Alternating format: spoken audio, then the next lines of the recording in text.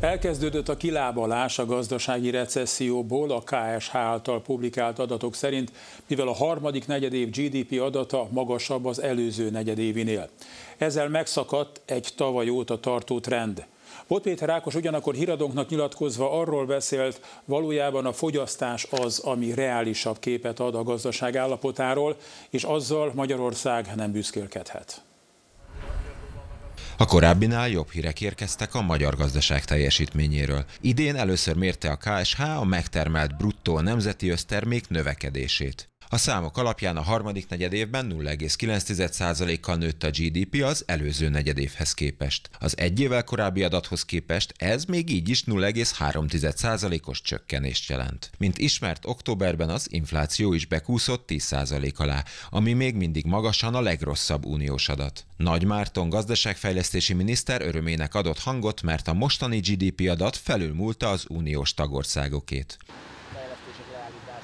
A Momentum országgyűlési képviselője szerint a kormány nem beszél arról, amire nem lehet büszke. Például az inflációs adat, vagy a reálbérkereset, ahogy az is csökkent az elmúlt egy évben folyamatosan. Ezek azok az adatok, amik igazán fontosak, mert a nap végén az számít leginkább, hogy a magyaroknak mennyi pénz marad a zsebükben, és hogyha a megtakarításokat nézzük, a reálbérkeresetet nézzük, ezek mind lesújtó adatok Európa szerte. Szerinte az elmúlt egy év annak a bizonyítéka, hogy a kormány EU-s pénzek nélkül képtelen sikereket elérni. A volt jegybankelnök szerint a fogyasztás jobban mutatja a gazdaság állapotát. Erősen hátul vagyunk. Tehát meg kell mondanom, hogy nem gondoltam volna, hogy például a román egyfőrétó fogyasztás elénk kerül. A bulgár ránk jött, és az összes többi pedig bőven előttünk van. A munkaadók számára a GDP egy kritikus adat ahhoz, hogy mekkora minimálbér emelést ajánlanak meg a következő évre.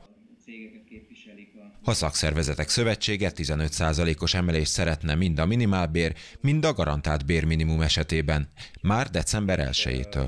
Ellazítja azt a azt a, e, most még ugye meg akarom fogni a pénzt ugye a családon belül, tehát ezt a hatást, vagy ezt a attitűdöt megváltoztatná, és akár már idén is növekedhetne a fogyasztás, annak a tudatában, hogy jövőre már tényleg jobb lesz. Szerinte van némi bizonytalanság a garantált bérminimum körül kormányzati oldal eh, dobta be ezt, hogy szűnjön meg a garantált bérminimum. Én attól vagyok szomorú, hogyha ezt eh, a szakszereti oldalon is, a munkavállaló oldalon is volt, aki eh, támogatta. A szakszervezeti elnök hozzátette, ha az év egész egy GDP csökkenéssel zárul, félő, hogy a munkáltatók nem adják majd meg a 15%-nyi emelést. Márpedig a portfólió előrejelzése alapján az év egészében most már biztos a visszaesés.